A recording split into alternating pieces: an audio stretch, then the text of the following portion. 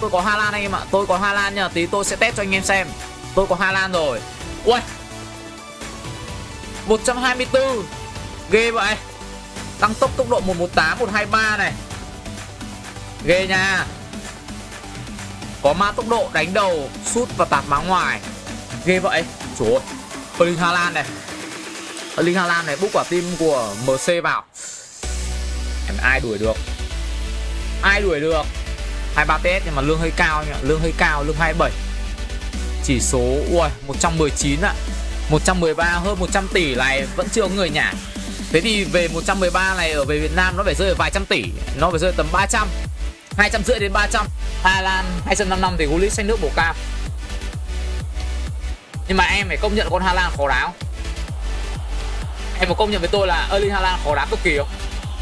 Mặc dù chỉ số rất là to nhé Erling Lan, tôi phải làm quả power shot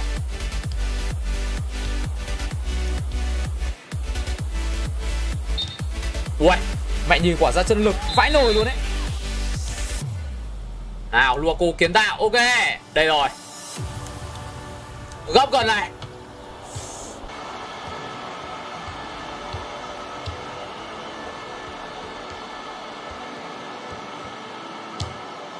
Ui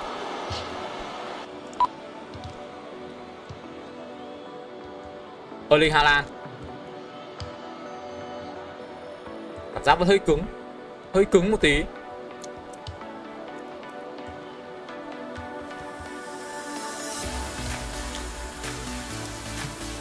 Ôi rồi chân trái đâu?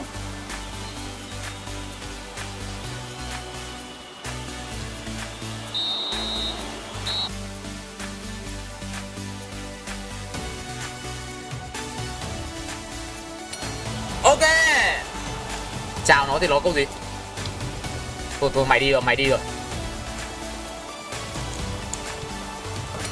Nhìn cái bước chạy của ơi Hà Lan thế là biết là đã đi rồi. Luku phải ZD được không ta? Ok, rồi.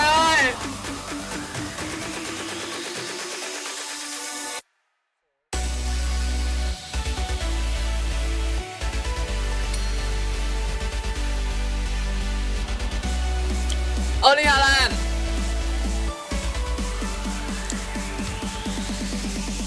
Ôi rồi ôi Giá như luôn kìa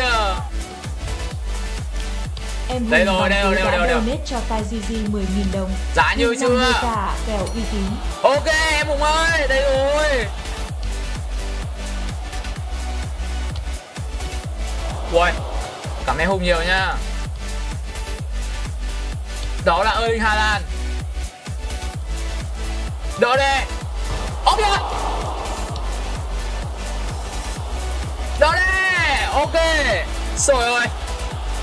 Sợ bọn Hàn này nó ao mất rồi.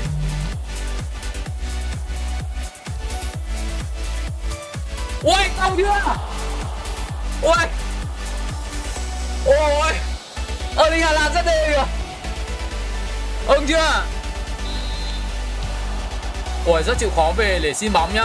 Rất chịu khó luôn. Chạy chỗ khôn nữa. Ok. Erling Haaland. Erling Haaland.